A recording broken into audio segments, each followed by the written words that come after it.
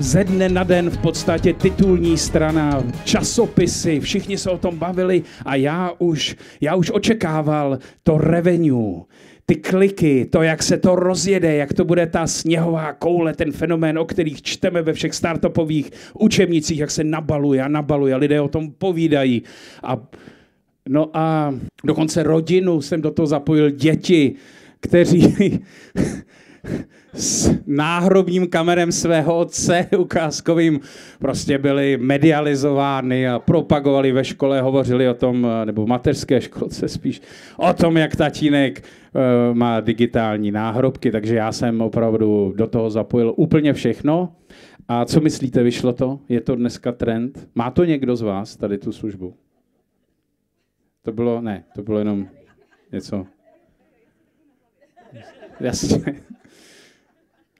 Tak já myslím, že spíš se podrbete na hlavě, než že byste ten náhrobek měli čistě z takového toho startupového světa ty KPIčka se opravdu nenaplnily.